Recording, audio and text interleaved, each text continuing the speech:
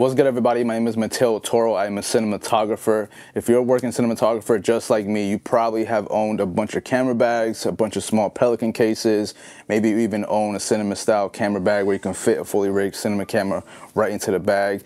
And you're growing in your filmmaking journey, your production's getting bigger, so now you find yourself just having a ton of camera cases and bags on set when you're filming and it just becomes a hard thing to transport and spend time unloading and offloading. So eventually that's what made me to create this video is to show you the system that I'm currently using. I have a Sony FX6 I have an alpha camera I have a bunch of accessories and they were all just in different Pelican cases and camera bags and now I have a system where it all fits into one. So this is the Pelican 1650 with the TrekPak divider system and the lid organizer. The reason I decided to go with the Pelican 1650 is because it's the biggest Pelican case case Pelican offers that still allows you to use the TrekPak divider system. So I actually bought this case used because brand new this whole system without the lid organizer is $550.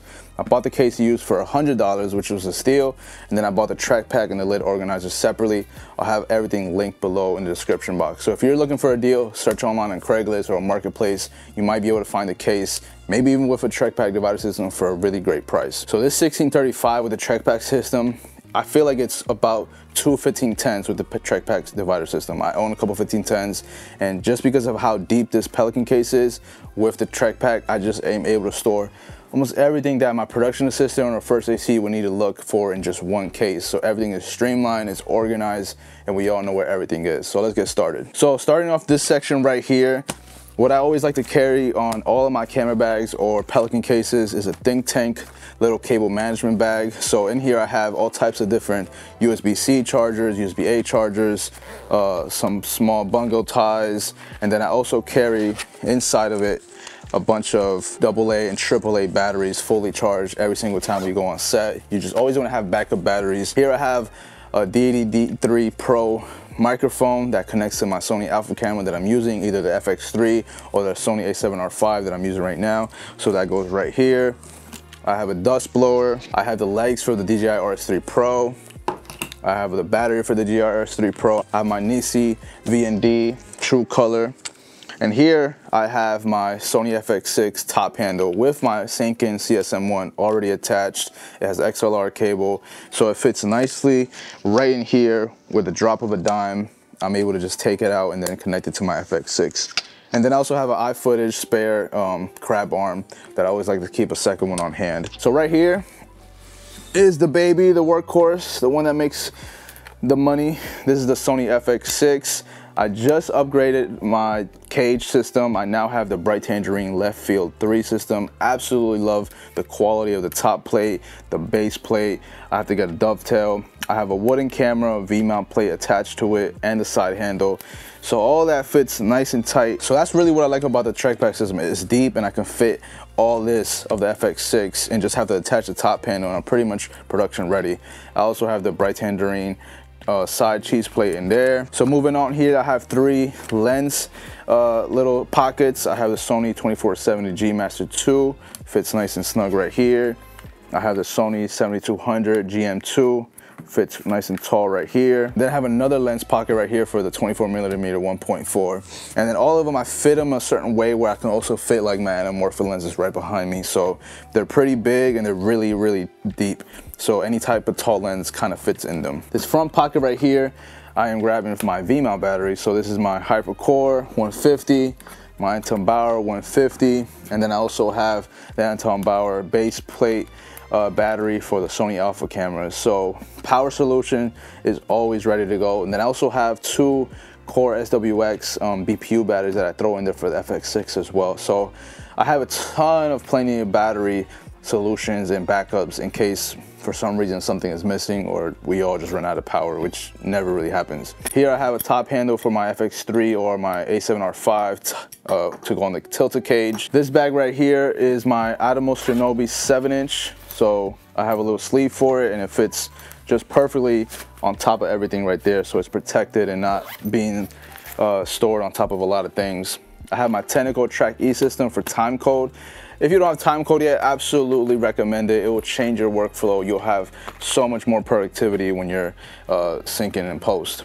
I have a pair of monitor headphones And then I have this big PortaBrace clear bag with three 15 foot XLR cables because again, you need redundancy, you need to have backups in case one of them doesn't work, one of them breaks, whatever the case is. And then I also have my Zoom F6 32-bit float field recorder. So all my audio essentials and just a little bit of extra accessories kind of just go perfectly in that um, compartment right there, as you can see. And this is why I love how big this uh, case is because as you can see right here, what I'm reaching for, I have 12 inch 15 millimeter rods with the Tilta 15 millimeter base plate for my FX3 or A7R5. And then I also have a small V-mount plate um, from Tilta. Pop a V-mount, slide my FX3 or A7R5 right onto this and then I pretty much have a perfect ready to go B cam and I don't have to break anything down. That's what I love about how big this case is. Here I have some adapter rings for my mat box. Here I have another pouch that has my backup B monitor the Atomos Shinobi 5 inch. I have an Aputure MC. I want to get the MC Pros really soon. Aputure, if you're watching. I have my small rig mat box, handy dandy. And then let's see what else I got here. I have two Nanlite 6C PavoTubes.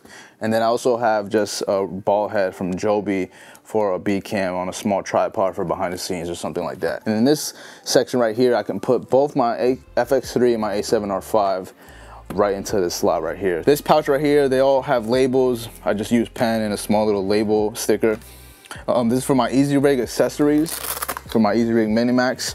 So I have my Kong Frog uh, carabiner, and I have extra shoulder bolts, um, one 3 eighths and one 1 quarter, just so if I, again, if I lose anything, I have a different way of mounting to my Easyrig, and I also have spare bolts. Up here, this is my compartment for my XLR microphone. So my XLR microphone is a Sanken CSM1, highly recommend it. So I have another small, uh, whoops, I have another small XLR cable. Again, you just wanna have extra backups. I have my little fur screen for when I'm filming indoors. I have some rubber space tubers for the FX6 microphone holder because again, Sony designed that terribly. And then I also have some boom pull accessory clips and just some spare uh, three and a half millimeter, three and a half millimeter cables um, for whatever microphone I'm using that goes onto the alpha cameras. Right here I have dummy batteries, so I have a Anton Bauer dummy battery for the Sony alpha cameras that connects to DTAP. I have a DTAP battery to Sony MP for the monitor, so I could just power off of DTAP. Here I have my Sony alpha batteries, I have five of them. Uh, plenty, plenty battery solution, even on top of the Titon base that I have for the alpha cameras. So you just always want to have backups. This compartment right here is for all my lav mic accessories. So I have the Sanken COS 11D and Countryman B3 lav mics. Um, so I have stickies, I have double-sided tape, I have a waist Velcro pouch, a hip Velcro pouch, um, just different type of accessories so you can mount a lav mic onto a subject depending on what you're filming and what the subject is. Here I have more lav mic accessories. Instead of just stickies, I have a backup cheap Rode lav mic that if it's not my Countryman B3 or my Sanken. I have a couple concealers. I have some clips and some windscreens. So just little lav mic accessories that you're always gonna come in contact that you need on set. Here I have a ton of SDI cables and HDMI cables. I love the Alvin cables. I'll have them linked below because they're all right angle and I just leave these little clear protective cases to just protect them a little bit more. And then I have SDI cables from Alvin's cable as well. I have one and a half foot, three foot, always have got spares.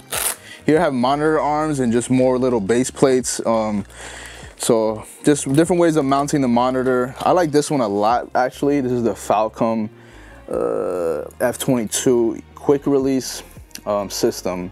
Really great, really compact, and has been my favorite so far that I've purchased. And I have a couple bongo ties and I also have a few spray cable management ties for the cages.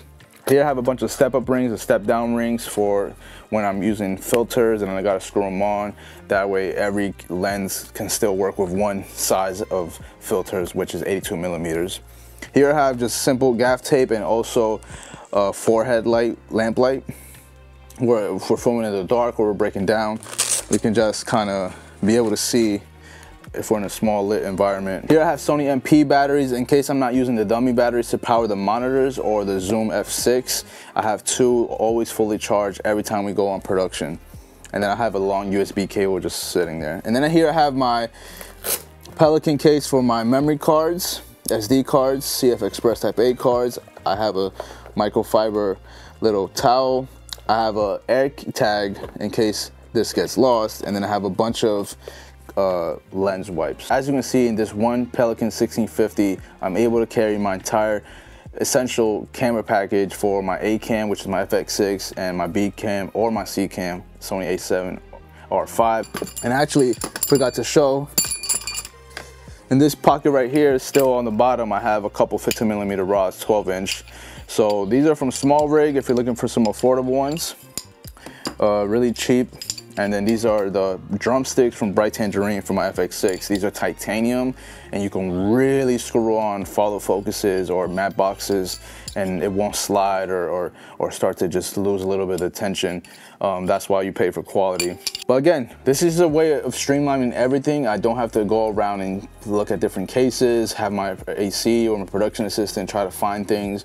Everything that we kind of essentially need on day of uh, for prepping our cameras is kind of just right here, ready to go. And then all my, like I said, my other Pelican and new cases, I'm gonna turn those into charging stations. I'm gonna just carry different accessories that now can have a dedicated case and be protected. That's what's gonna be great about that now. So Pelican 1650 TrekPak divider system and lid organizer. If you're searching for less bags and less cases to carry on your next project, check this system out. Thank you all for watching. If you have any questions about anything, it'll be just feel free to leave a comment in the comment section below. Everything I talked about in this video will be linked in the description box below. So see you all in the next one. Peace.